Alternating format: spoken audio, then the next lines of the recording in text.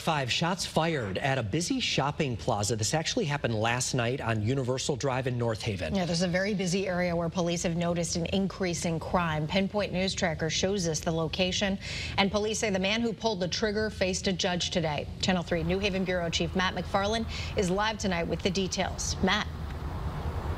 Well, Aaron and Mark, according to North Haven Police, the shots were fired out behind the Target shopping plaza here on Universal Drive. And today we learned through court records that this man accused of that, well, allegedly it's not the first time he caused a dangerous incident right here in this parking lot.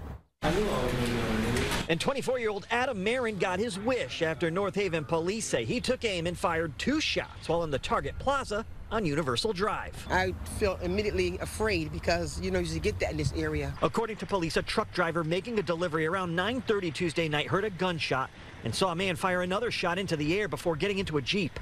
Officers located the SUV parked near the Tidal Marsh Trail. They say at first Marin, who's homeless, denied having a gun, saying he set off fireworks. But when officers searched the car, they found a 22 caliber gun.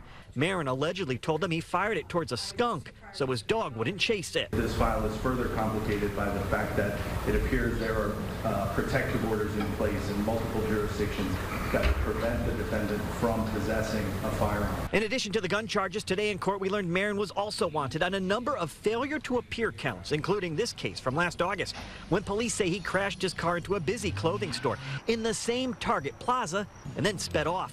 In response to the gunfire and an uptick in thefts and reckless behavior on Universal Drive, North Haven's first selectman says the message for those looking to cause trouble is clear. You will get caught. Adding police have upped their presence in the area. I'm trying to add two more officers.